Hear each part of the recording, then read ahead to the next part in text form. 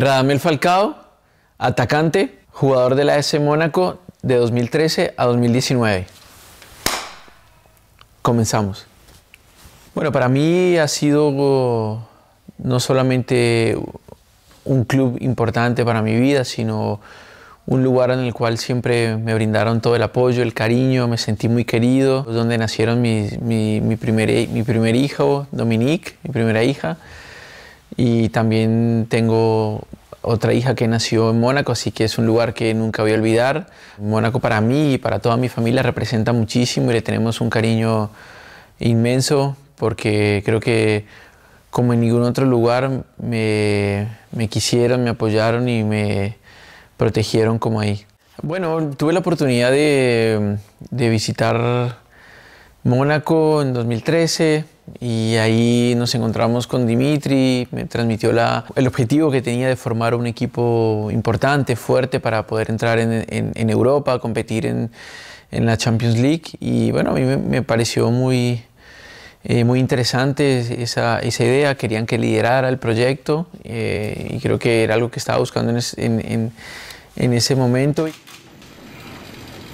No, bueno, en la primera temporada llegamos jugadores muy importantes. Eh, me parece que Dimitri hizo un esfuerzo grandísimo por, por llevar a estos futbolistas y, poner a Mónaco en el lugar donde, donde merecía estar.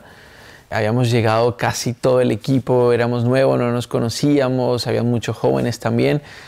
Eh, y había un poco de nerviosismo en la pretemporada, pero luego ya eh, con el primer partido que ganamos en, en Bordeaux.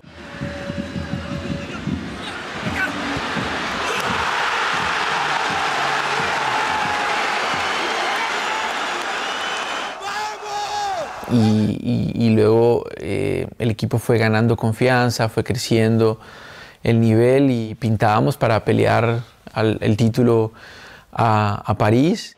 Moutinho, le centre et le but.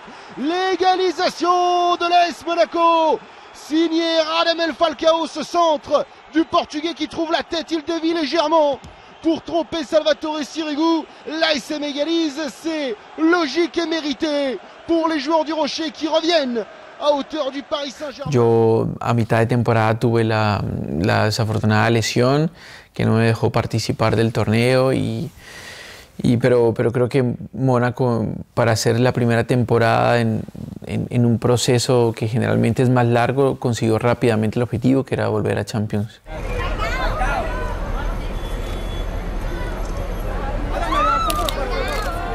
No, sin duda alguna que de alguna manera contribuimos para que eh, la S Mónaco, los ojos del, mundo del fútbol se posaran sobre Mónaco, ¿no? En ese momento había mucha expectativa y con la llegada de todos los jugadores que, llegamos en 2013, pues ya de diferentes partes del mundo seguían a, sus futbolistas. En Colombia somos 50 millones de personas y prácticamente con, con la llegada de James y la mía, pues todo todo el país se volcó eh, a, seguir al Mónaco, a hinchar o a ser supporter de, de, la S Mónaco y, y realmente creo que, que, ayudamos para que, para que el equipo creciera en esa, en esa área de comunicación, de marketing y, y fuera más conocido a nivel mundial.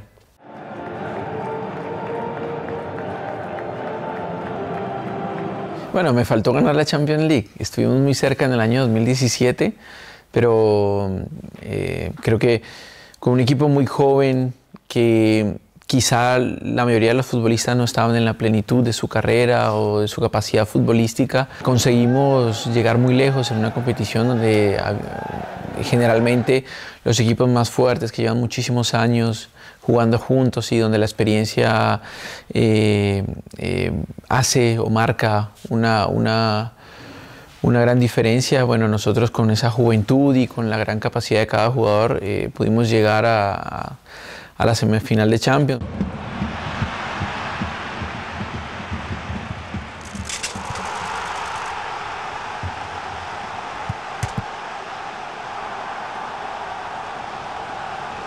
Me parece que en ese momento nadie apostaba por el, por el Mónaco para, para, ganar la liga o mismo para llegar hasta el lugar o hasta la fase que llegamos en, en la Champions League.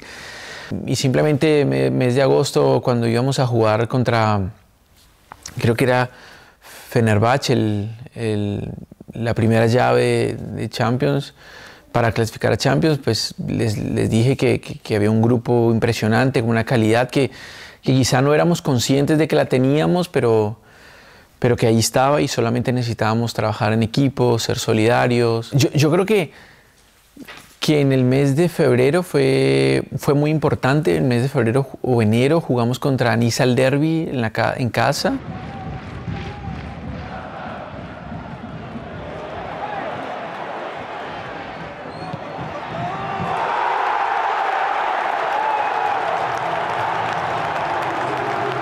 Y ahí ya creo que nos empezamos a acercar o los pasamos a ellos. Eh, en el mes de febrero también jugamos octavos de final contra el City. Falcao à la lutte avec John Stones.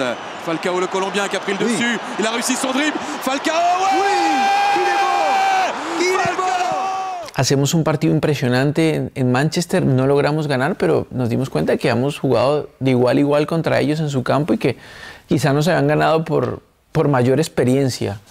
Y luego los vencemos en casa y ya en, en, en la liga empezamos a estar, no sé si eh, pasamos al Niza o lo igualamos, y ahí ya nos dimos cuenta que, que el equipo se ha mantenido muy firme, muy fuerte durante cuatro meses de temporada y que ahí ya éramos, habíamos llegado vivos al, a la recta final y que éramos fuertes candidatos. Y un grupo de trabajo eh, maravilloso, todos nos llevábamos bien, el, cuerpo técnico también eh, sabía cómo manejar a este tipo de futbolistas y, y, el, y, el, equipo terminó potenciándose muchísimo y teniendo un rendimiento tanto individual como colectivo impresionante que sorprendió, sorprendió a toda Europa. Y al final ya las victorias te van llevando, porque era una victoria cada tres días y, y la dinámica del ganar, ganar, ganar ya te lleva solo. Bueno, esa noche fue muy especial. Eh, había pasado momentos muy difíciles de la lesión, eh, había eh, pasado temporadas complicadas, no había tenido mucha continuidad y yo sabía que estaba en óptimas condiciones para seguir jugando al más alto nivel y poder disfrutar esto con mi familia, con mis hijos. Era la primera vez que ellos nos veían celebrar un título, mis hijas, y y también estaba mi padre que bueno ya, ya no está con nosotros y vivir todas esas emociones eh, con ellos es, es inolvidable. Creo que es un recuerdo de los más lindos recuerdos que tengo de mi carrera deportiva.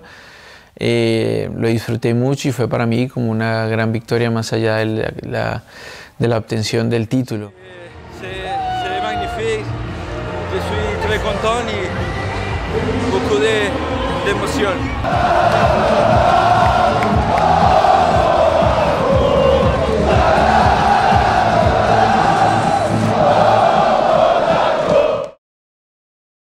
Estamos muy agradecidos mm, con Dimitri, con en su momento Vadim, con Oleg, con todas las personas que trabajaron en el club y han pasado por el club y sobre todo por los hinchas y las personas que, que habitan en la ciudad.